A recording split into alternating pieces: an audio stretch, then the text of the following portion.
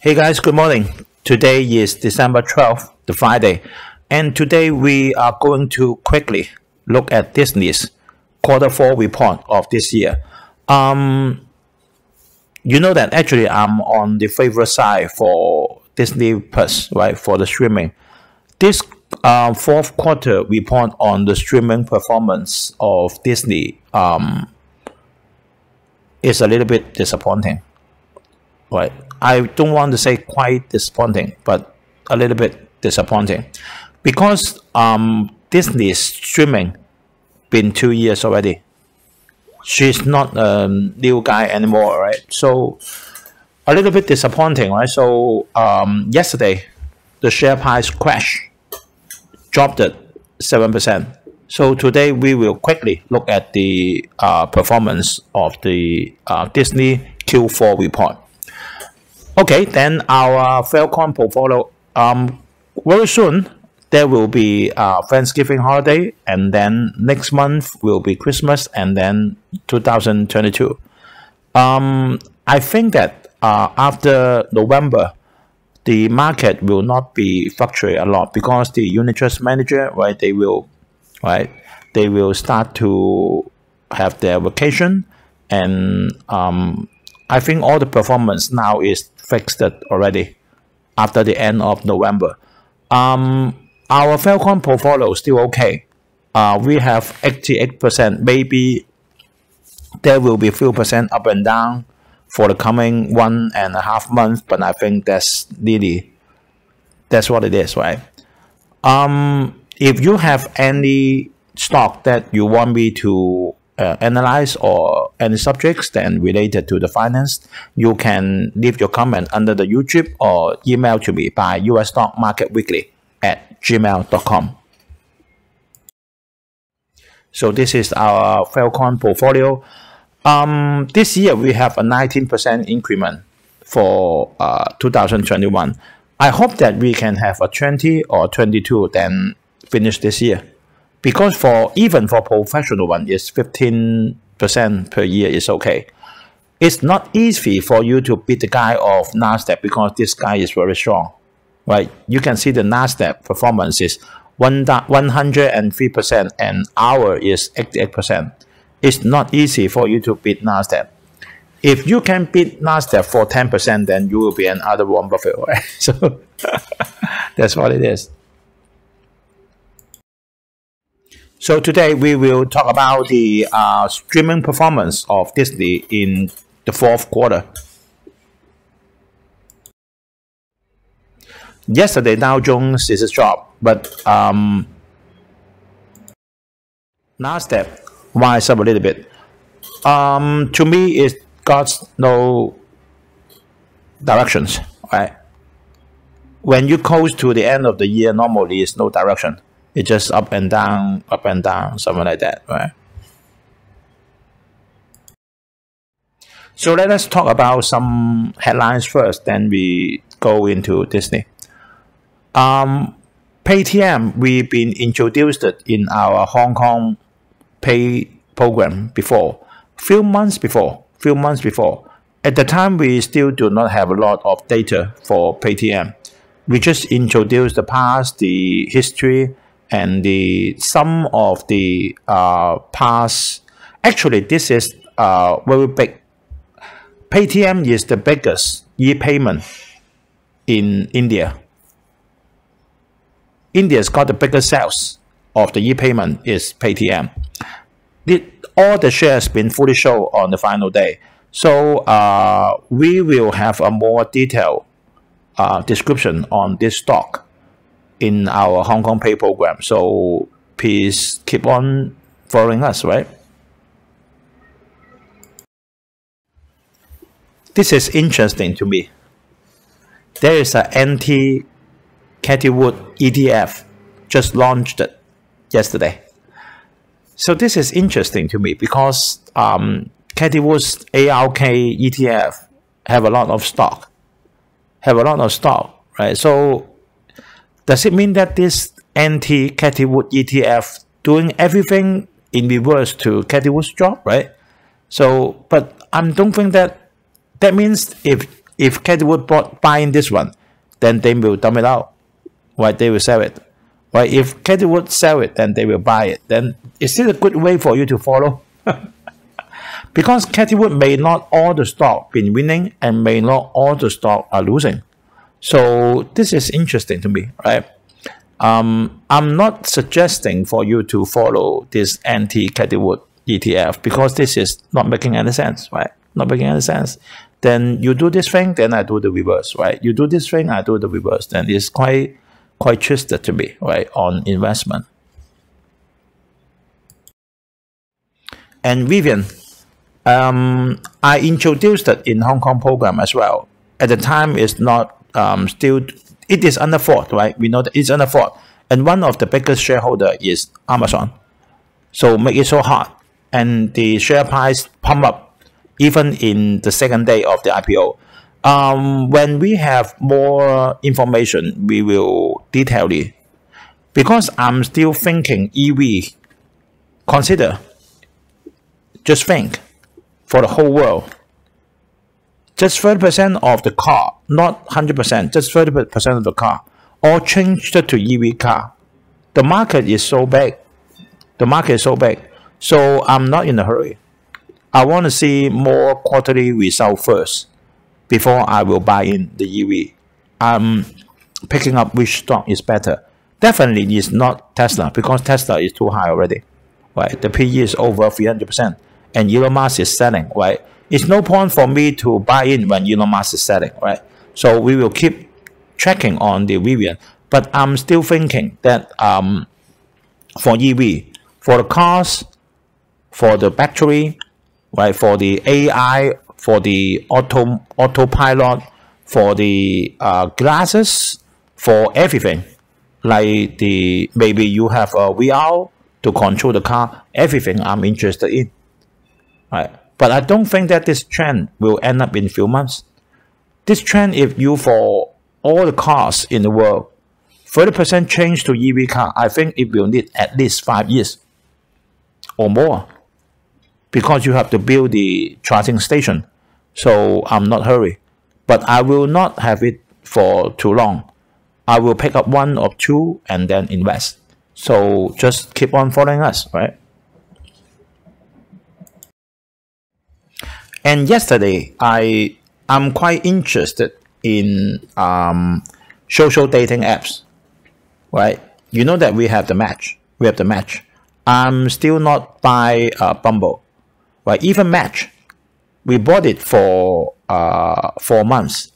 The share price fluctuate very much because their profit fluctuate very much, and they have a lot of competitions. Bumble, um, this uh, beautiful lady came out from Tinder and then she raised the money from the fund and then um, invented Bumble. But you see, yesterday Bumble crashed it because the because the performance right of the Q4 is really bad. Honestly speaking, it's very bad. Not easy for them to survive because now the competition is very high. Tinder, all the apps from Match and then the Facebook, where Facebook is doing another things. A lot of um actually they, that are social media, not social dating app. But Facebook is doing um actually we should call it Meta, right? Meta is doing um already doing some uh social dating app. So it have a lot of pressure on Bumble. Although Bumble's right? Killing is the ladies first, but I, I think it's just a gimmick, right? It's just a gimmick. It's no matter the gentleman first or the ladies first, then it doesn't matter. The matter is the app to widely spread it, widely spread it for the whole world, and then has the income. And I still thinking Match or Tinder is more efficient than Bumble. So why you choose Bumble? That's the one of question that Whitney has to ask herself and answer, right? Okay, we go to uh, we go into list report. So you can see, um, even during the during the pandemic, Disney's price been dropped and it strongly rised up. It strongly rised up. We all know that for the for the park, for the Disney characters, it doesn't matter because they are monopoly. It eventually will open one day for all the parks, right? So actually for the parks income and for all the licensee for all the Disney characters, I don't think that they will drop. They will they will rise up one day because they're monopoly. No substitution. You like it, then you buy it. You want to go to the park, you go to the park. You don't like the character, you won't buy the things. So I, I I'm not I'm I'm saying that this strongly rise up. Part of them is because people is thinking that one day the revenue of Disney will come back. Why? Because the pandemic will have one day pass over, right? And the further rise up is because of the streaming, right? It's because of streaming. So, but you can see the PE ratio is 265 now. What does it mean? It means the people is putting a lot of expectation on the streaming. They think that it will have a good international sales like Netflix did before. This is what it is. But the point is, Netflix is still there. That's the problem. I think that the only competitor, only strong rival for Netflix is Disney Plus. Disney Plus will arrive in Hong Kong uh, November 16. That means four days from today. And today, the 12th, um, Disney will update the content. Have a big issue big change in the content today for the states, right? But the key point is investing and entertainment is two different things. And the people is waiting for two years already. You can see when the share price goes to the top of this year, it goes down a little bit and then become fat. Why? Because people is waiting to see the streaming result after two years right? And the PE ratio is very high, 265. If the result is not good, then it will crash. And it crashed 7% yesterday. This is, in the contrary, this is Netflix. You see Netflix PE ratio, just 59. And it goes for uh, goes for the games market. Yesterday, I downloaded one from the Android market, right? But this uh, this, this terrible. the graphic is terrible. So if you were the investor, which one you will invest? Just from the point of view of an investor, of course, it's Netflix. Why? Because it's more safe. It has the market already. It's very difficult for you to beat Netflix even to have even Steven, right? Maybe now this maybe this quarter for Disney to doing bad is because of the Squid Game. I don't know. You see the Squid Game makes the Netflix becomes the king again, right? This may last for I think at least till the first quarter of the next year. But the key but but the key the key factor is will Disney Plus performs better than Netflix? I think this is the key, right? Let us look at some performance metrics. So this is the condensed statement of the income, right? This is difficult for you to see, right? Because this is the letters are very small, right? The figures are very small. So I do the summary for you for the key one, for the important figures what the investor look at is the revenue increase speed. Is it increasing or is it decreasing? So you can see the revenue change. If we compare this, Q4 is from um, August, September, then October, right? Three months. If we compare this revenue for one with one year before, the revenue increased 26%. And for the whole year, increased 3%. Then this part I'm, I'm happy. And for the net income change, we can't compare because last year is a loss because of the pandemic, right? So we compare for the net income rate, right? So you can see the net income rate for the Q4 is only 1.38%. And for the whole year is 3%. That means the revenue is increased, the increment of revenue is decreasing, tapering. What happened? So let us look further. So this is for um, Disney Media Entertainment Distribution and the parks experience, whatever, right? So you can see very quickly, you can see the Disney parks increased a lot. It's normal because last year is the lockdown, right? No matter this year increased 99% or 199%, then this is normal. Right? This is normal. Because Disney is over 100 years. So if you go to the part, you go to the part. If you not go to the part, then you not go to the part, right? So that part, no need to worry. Because that is for 100 year business already. So what the market concentrating on is the Disney media and entertainment distribution. This is the new one. You can see for one year, for one year, the revenue decreased only 5%. But for only for the fourth quarter, it decreased the revenue decreased 39%, especially on the operating income. That means on the net income, it will decrease furthermore. What happened? Mainly because of the fixed expenditure. Fixed expenditure. That means maybe the server, distribution channel, prom promotion, right? Even Disney has to do the promotion. So the fixed cost still is bigger than the than than the fixed cost increment is still high. So that's the reason. So the net income may be lost even more badly. Then we go further for the details of the entertainment and the media. There is few, there are few parts inside. Linear network and direct to customer is for the streaming. For the streaming. For the devices, and then you have the course directly have your streaming to the customer, to your TV, to your PC, to your uh, cell phone, to your smartphone, to your iPad, whatever, right? So you can see on the uh, lower part, you see the linear network.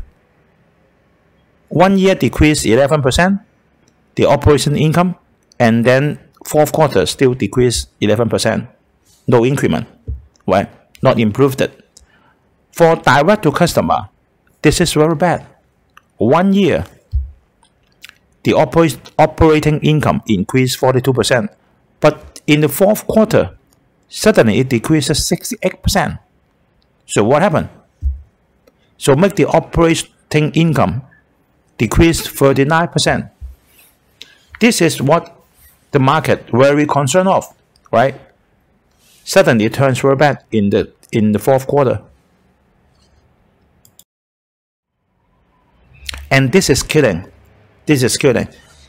You see, when we see the upper data, upper parts data, for Disney, for Disney, the number of subscribers, right, increased 60% in the fourth quarter. It's a good thing, right? ESPN Plus increased 66, right? And the, and the Hulu, Hulu increased 22%, right? All okay to me. But suddenly, when we look at the lower part, you see the lower part is the average monthly revenue per paid subscriber for the fourth quarter. That means to me, I subscribed Disney Plus. How much did I pay per month? Suddenly it decreased 9%. That means the number of people joined it increased. But the people spent decreased especially for Disney Plus. For ESPN Plus, 4%.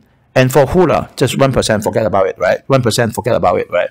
So what happened? I think the reason is because um, I'm going to subscribe for Disney Plus when it launched in Hong Kong. But I may not subscribe for one year. I may only subscribe for one month, right? And for a, for a cheaper pen, right? Not the highest pen. So the reason is for the last quarter, a lot of people, you know that you cannot subscribe for both at the same time because you no time to watch right? unless you have no job, unless you are retired, right? There's no point for you to subscribe both. So you only will subscribe for one, Netflix or Disney Plus. That means a lot of people they subscribed it. They subscribed it. But they subscribe for the for the cheapest plan or they are not subscribing for one year. Maybe they subscribe one month. Or Netflix is very hot. And then I stopped it this month. And then I subscribe for Netflix. Netflix for one month and two months and then three months. And then Netflix is bad. And then when Disney has a good program, they change back. And now the key is the Squid Game. The key is the Squid Game. So this is killing because this is not continuing. Right? We we want we want an income. We want um, revenue is um, continuing. Sustainable. Sims it's not sustainable. And now it's beat by Netflix. So it makes the investors quite disappointing. That means you don't have a better program than Netflix, and Netflix policy to go into the culture of South Korea now is going to the culture of Japan, right? Maybe then go into the culture of Australia, and then they use the local for making their own film. That is successful. You can see the Squid Game. Maybe there's another successful masterpiece in Japan unless there's a very big, very super uh, movie come up from Disney, from Marvel Hero, something like that. Otherwise, it cannot beat Netflix. That's what people now, after the fourth quarter's result, is thinking. So, um, what I can say on the um, stock price point of view is the premium previous gave to Disney seems too high. That's what I'm thinking. I'm not saying I'm not think, I'm not saying that it will crash immediately. No. No. But the point is the premium that gave to Disney, because previous Disney, Disney is not for streaming. Disney is for itself. For the park, for the souvenir, and for the content license. But now, if it relies on streaming, then it has to come into direct competition with um, Amazon and then with Netflix. Then we view the thing differently. And after two years, the people start to thinking it may not be as strong as Netflix. It's easy to say that go into international for the whole world. But Netflix there. Netflix is there. That's the problem. And a lot of people still they, they may they may say that, okay, um, previously Netflix also passed for that difficult part. I agree to that. But the point is, if this is true, and this is going to be true, then the premium now gave to Disney is too high. It's quite obvious, right? It's quite obvious. So um, I'm not suggesting to buy Disney stock now. We still have to see. What we have to see is um, when the um, fixed expenditure will reach the peak, right? I think it's the uh, fixed expenditure. I have confidence in the Marvel heroes and in all the Disney characters because they are unique, right? Because they are unique.